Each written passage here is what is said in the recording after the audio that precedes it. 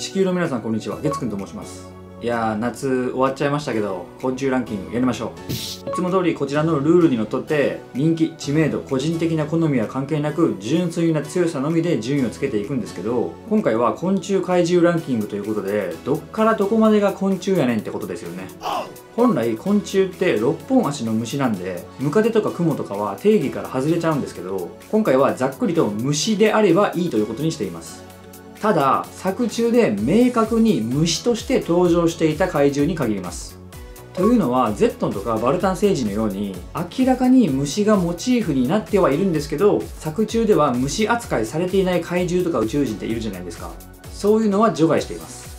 鳥獣でいうとバキシムとかユニタングとかも誕生過程がシーンとしてあったらよかったんですけどないので今回は除外です。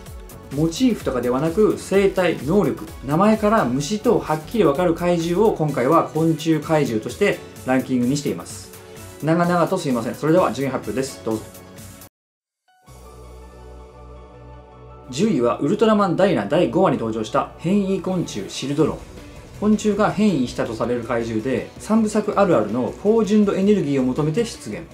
ハサミ状の両腕のコードは半端じゃなく硬くてダイナの砲弾や打撃も完封できるレベルです。額の緑の水晶体を点滅させることによって敵の攻撃を予知してその両腕の盾で攻撃を防ぐ。鉄壁の守りが最大の強みです。攻撃面は尻尾攻撃や投げ払い。ハサミで締め上げたり主に近接戦闘を得意としています。その厄介な能力でスーパーガッツやウルトラマンダイナーを苦しめたシルドロンが10位にランクイン。9位はウルトラマン太郎第17話18話に登場した食用怪獣ケムジラ。古代に生息していた昆虫怪獣で火山活動によって復活。視界を奪うほどの大量のおなら攻撃や強力な糸を吐いて身動きを取れなくしてからボコる戦法を得意としていてその打撃力は太郎にも大ダメージを与えるほどの攻撃力です。火山会長バードンの餌のイメージが強いがその実力はかなりのもので太郎が全力を出せていなかったとはいえ一時はボコボコにしていたほど。太郎とバードンとの三つどもえのカオスな戦いが印象に残るケムジラが9位にランクイン。8位はウルトラマンエース第17話に登場した大ブタル鳥獣ホタルンガ。タックの新兵器の輸送を妨害することを目的として宇宙怪獣とホタルをヤプールが合成して作り出した鳥獣武器は頭部から放つ妖怪液や鋭い尻尾での締め付けや打撃攻撃ホタルの能力を存分に発揮した発光攻撃も強力。それらの能力を存分に駆使してウルトラマンエース相手にゴリ押しして一時はエースを気絶させて圧倒的優位に立つなどかなり苦しめました。タックの助けがなければもしかしたらワンチャンあったかもと思わせたホタルンガが8位にランクイン。7位はウルトラマン第7話に登場した磁力怪獣アントラバラージに5000年前から生息していた怪獣で巨大でパワフルな顎と噴射する砂煙。旅客機を墜落させたりウルトラマンの自由を奪うほど強力な磁力光線が武器。それに加えて地面に潜って素早く移動したりアリ地獄に引きずり込んで自由を奪ったりできるほかスペシウム光線を食らっても何事もなかったかのように振る舞う防御力も持っています。バラージの青い石と村松キャップの強肩がなければもしかしたらウルトラマンでも倒しきれなかったかもしれないほどの戦闘力だったアントラーが7位にランクイン。6位はウルトラマン太郎の第9話に登場した大ハーリ怪獣アリンド。まだ小さいサイズの時点ですでにありえないほど食欲旺盛なアリで高層ビルを食べまくって倒壊させたり殺虫剤まで食べるという意味がわからない性質を持っています。そんな凶悪なアリが巨大化してしまって弱いはずがなく高層ビルを切断する両手のカッターや火炎放射や酸を吐いたり触覚から電撃を放つなど豊富な攻撃手段で太郎を苦しめました。それに加えてなんとストリウム光線を古虫するほどの耐久力もあります。億単位の凶悪なアリが合体して誕生したアリンドウが6位にランクイン。5位は帰ってきたウルトラマン第26話に登場した昆虫怪獣ノコギリン宇宙から来た昆虫でそれを処分しようとした際のエネルギーで巨大化してしまった怪獣。スペシウム光線の直撃を仕方できるほどの耐久力と大顎などを武器にゴリ押して近接戦闘で帰ってきたウルトラマンを相手に優位に立ち回れる実力を持っている。付け立ちしたマットに片目を潰された後も食い下がりチートアイテムウルトラブレスレットの攻撃にも一発は耐えるなど最後まで意地を見せたノコギリンが5位にランクイン。4位はウルトラマンマックス第11話に登場した磁力怪獣アントラーマックス個体。市街地に現れて街ごとを地面に沈めてしまうほどの巨大なアリ地獄を作り出して大暴れしました。磁力光線で鉄塔を引き寄せて敵にぶつけたりウルトラマンマックスの光線のエネルギーを分散させて光線そのものを無効化したり能力の使い方がかなり多彩な個体でした。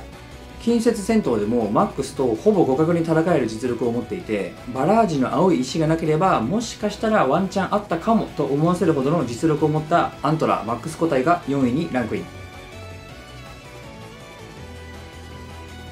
3位はザ・ウルトラマン第17話に登場した昆虫怪獣バダン。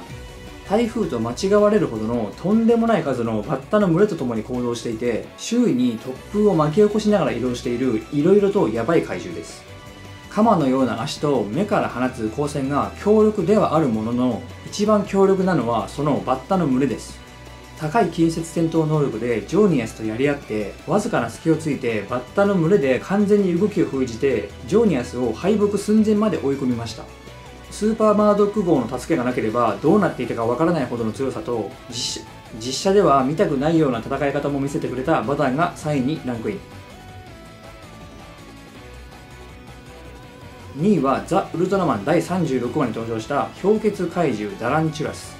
なんと星一つを氷漬けにして滅ぼして地球にやってきたヤバいやつでダランチュラスが体から発する冷気だけで日本を異常寒波に陥れることで冷凍光線と氷結エネルギーがメインウェポンです。それに加えてジョーニアスの打撃を受けてもほとんどダメージがないほどカチカチな体も持っていて強力な冷凍光線と氷結エネルギーを使い分けてジョーニアスをあっという間に敗北寸前まで追い込みました。ジョーニアスが日の出時間の運とスーパーマグマの力に助けられなければそのまま勝っていたことが濃厚なダランチュラスが2位にランクイン。1位はウルトラマンガイア第495051話に登場した破滅魔中ドビシカイザードビシ。体長60センチほどの無数のドビシが合体することによって巨大怪獣になったのがカイザードビシでドビシが存在している限りは何度でも出現してきます。体に複数ついている目から光線を発射したり触手のようなもので相手を拘束したりその先の口で攻撃したり攻撃手段は豊富です。比較的耐久力はなく光線技が当たれば消滅するとはいえガイアとアグルの2人がかりでも苦戦させられるほどの攻撃力があってそれが実質無限にどんどん出現してきます。ガイアのラスボスの前座的な立ち位置であるとはいえ最終章に登場してガイアとアグルそして地球怪獣たちを苦しめたドビシカイザードビシが堂々の1位。はいという感じでした。